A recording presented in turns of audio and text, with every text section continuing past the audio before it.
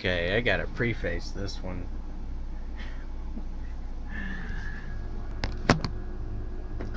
Let me rewind first.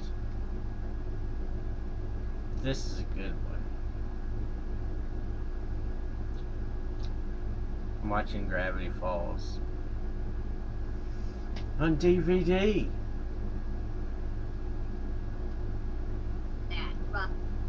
Alright, gotta rewind a few seconds more.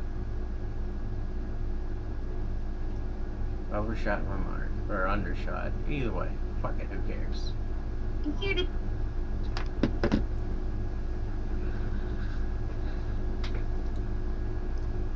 Now, I've seen plenty of YouTube videos with people going on about the crossover between Rick and Morty and Gravity Falls and all kinds of well not all kinds but there's all kinds out there that I haven't seen of fan theories and whatnot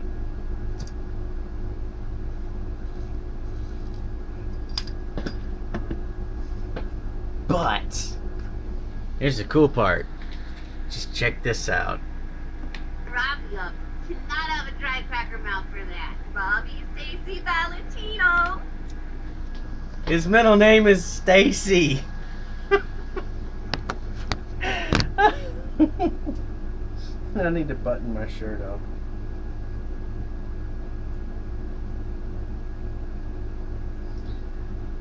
His fucking middle name is Stacy. Why didn't I catch that before? Oh, that's right. I was all pissy.